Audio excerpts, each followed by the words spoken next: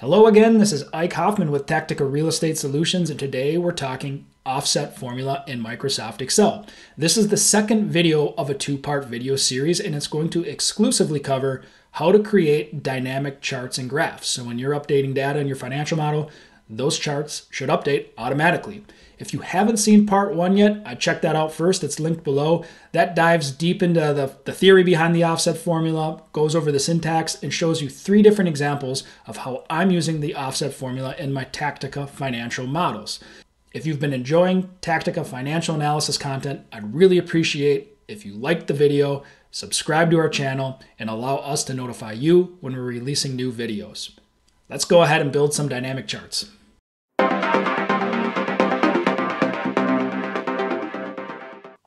We're currently looking at some general renovation information on an investment opportunity we've we've been reviewing.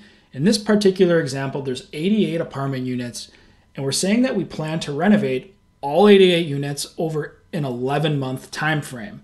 You can see off to the right then, the months are tracked in column E, the unit renovations each month, and then the cumulative total is tallied off in column G. After 11 months, all 88 units would be renovated. Now, let's say we want to chart this data. Your first instinct may be to grab all the data through month 11 and insert a chart. I'm going to grab this dual axis clustered column, hit OK. So when we take a look at it, it shows the bars are showing us how many units are renovated each month and then the line is tracking the cumulative total over that 11 months. So at month 11, all 88 units are renovated. While this may look sufficient at first, it's not flexible, and our assumption and our renovation assumption may change. For example, if we type in 20 months, you can see that the chart still only tracks through month 11. Although the bars did update and the cumulative did as well, it's an incomplete picture if we put in, say, six months, now nearly half of our chart is blank. Ideally, this chart would resize to whatever assumptions we're plugging into the model.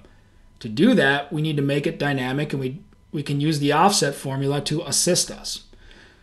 The first step is we need to create named ranges for all the variables we want to track. In this case, we're tracking renovated units, we're tracking the cumulative amount, and the months. So for each one of those variables, we're going to create a custom named range that will be dynamic and adjust automatically as we're changing inputs in the model. So let's go ahead and set up these named ranges. I'm going to click new and our first one is we'll do months. I'm going to click type offset. We're going to set the reference cell as the first month. The rows argument will be blank. The columns argument will be blank, and then we're going to tie the height argument, month, and assumption. And then our width column will also be blank. To hit enter. Now when we click into the formula bar below, this name range is tracking months 1 through 6. We're going to follow that exact same logic for our other two variables. I'll name this range is renovated, offset, reference cell is units renovated, no row argument, no column argument. Height will tie to the month end. No width argument. And we click in to make sure it's correct. It's highlighting those six months. Perfect. And then the last one is cumulative. Equals offset. Our reference cell is going to be the first cumulative month. No row argument, no column argument, height argument is 6 for now. No width argument. And then when we click, it's tracking the right cells. We're going to close that, and then we're going to click into our chart. And we're going to select data, and we're going to remove the, the current variables, and we're going to add our flexible ones. So to do that, you click Add, Let's add renovated first. So we're going to call it renovated units. And then we need to refer to our named range. To do that, you'd hit apostrophe, the sheet name, which is Reno Summary, apostrophe, exclamation point, and then renovated was the name of the range. Now we're going to add cumulative. Cumulative, cumulative units. To do that, we're going to follow the exact same process as before. We're first going to refer to the sheet, which is apostrophe Reno summary, apostrophe, exclamation point, cumulative. And now we're going to add the months variable, which equals Reno summary months. It's important to note if my tab did not have a space, so let's just say it was it was called summary and not Reno space summary, you wouldn't need those apostrophes. I wanted to call that out because literally every single time that I make these dynamic ranges, I forget that. And it always takes a quick Google search to go figure out why I'm getting an error message. And it's because I have a space in my tab, which means I need to add the apostrophe. And now we added it, we can click OK. And now we just need to reformat this a little bit. So I'm going to click the chart design and let's go back to our old format. Let's change this chart type and we'll do a combo. And we're going to do renovated units as the clustered column. And then we're going to do the cumulative units on a secondary axis. So we have renovated units as the bars, cumulative, cumulative is the line. And now when we come back and we adjust our assumption, so let's put it back to 11, the model updates automatically. It now counts out to month 11.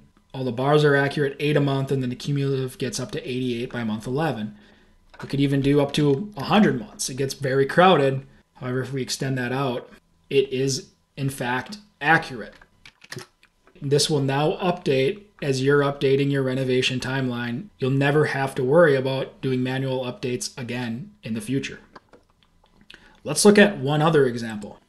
So in this particular scenario, we're looking at a theoretical unit mix. There's 85 units, and we want to track the various unit types and the average rents. But you can see there's a grid here where somebody using this model would manually type in the unit types, the unit count, the average square footage, and average rent. They could have anywhere from one unit type all the way up to 30 if they use the full grid. So what we need is a flexible chart that can capture anywhere from 1 to 30 entries.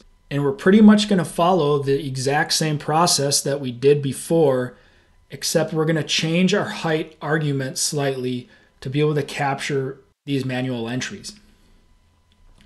So let's get started. First, we need to do some named ranges. So what I want to track here is unit type and average rent. I'm going to formula name manager. We're going to create a new one and let's just say type. It'll be an offset formula. Our reference cell will be the first unit listed in cell B3, row argument blank, column argument blank, and now our height assumption is going to be a count A formula. Count A simply just counts the numbers of records that aren't blank in a single column. So I do count A, and then I'm going to highlight all of the potential space in this data entry grid.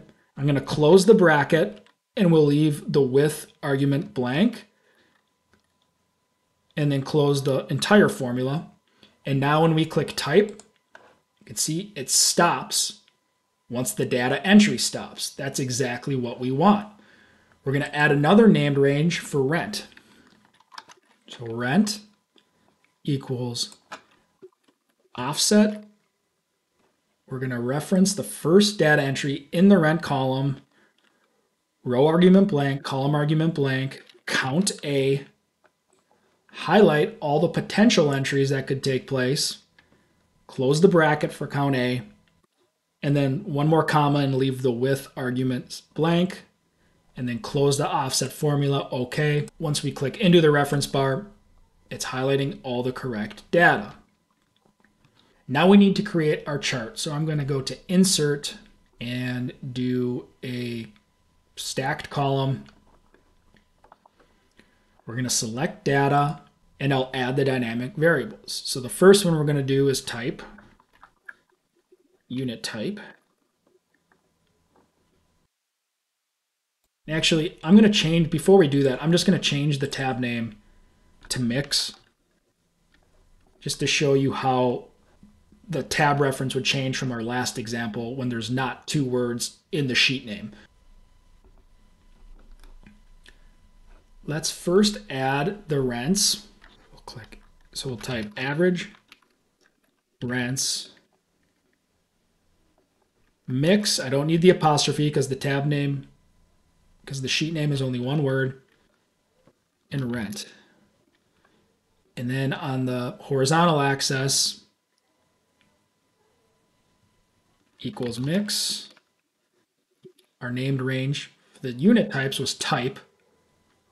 Now we can add units and it should update automatically. If we do a four bedroom, two bath, and say there's two of those, the average square footage is 1500 and the average rent is 1650 the four bedroom, two bath appears at the end. This works the other way. Now we could also delete unit types and rents, and the chart's going to update immediately.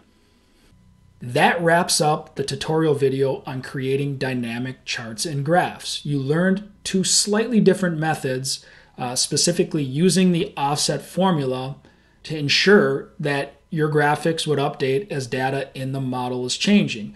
As a reminder, this is the second video of a two part video series. Part one touches on the syntax and, and how you can use offset in your financial models. Obviously, this video just touched on graphics. So, if you want a little more background into how this formula works and how it can be beneficial in your analysis, please click the link below and check out that YouTube video as well. If you've been enjoying Tactica's financial analysis content, I'd really appreciate if you give the video a like, you subscribe, and you allow us to notify you when we're releasing new content. I really appreciate you taking the time to follow along, and we'll see you next time. Take care.